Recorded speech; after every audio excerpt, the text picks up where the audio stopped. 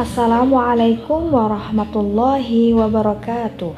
Baiklah, Ananda yang solih dan soliha, pada minggu lalu kita telah mempelajari dan menghafal Quran Surah Al-Mulk ayat 1 sampai dengan ayat 5. Ibu berpesan supaya Ananda yang soleh dan soliha selalu istiqomah dalam memurojaah hafalannya supaya tidak hilang.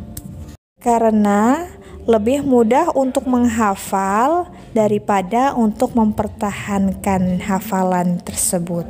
Jangan sampai ayat yang sudah kita hafal karena tidak pernah dimurojaah maka kita kehilangan hafalan dari ayat-ayat tersebut, maka menghafalnya akan menjadi sia-sia. Baiklah, Ananda yang solih dan soliha, sebelum kita melanjutkan hafalan kita, silahkan Ananda yang solih dan soliha untuk dapat melanjutkan ayat berikut ini. Sebagai bentuk murojaah, terhadap hafalan yang telah kita hafal pada minggu lalu.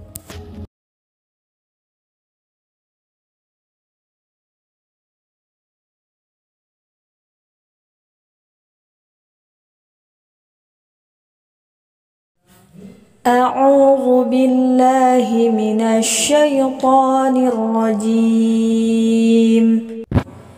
بسم الله الرحمن الرحيم.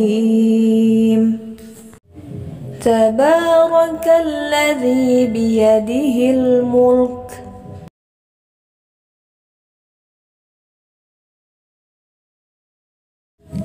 ما شاء الله. Jangan lupa untuk selalu memperhatikan makhorijul huruf dan tajwid atau panjang pendek bacaannya ketika membaca ayat Al-Qur'an. Mauta wal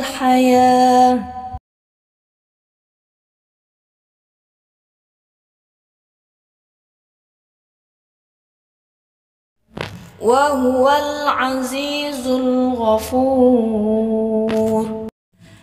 الذي خلق سبع سماوات طباقا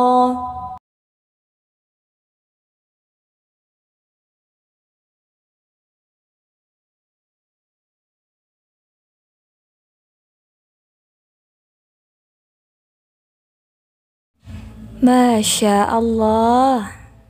ثم ارجع البصر كرتين ينقلب إليك البصر خاسئا.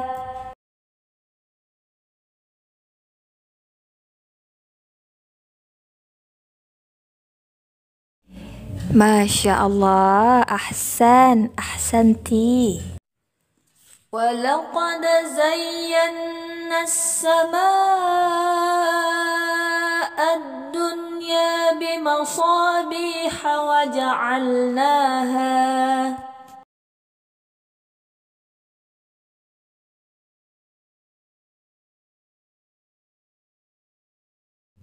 وأعتدنا لهم Alhamdulillah, Masya Allah, mumtaz.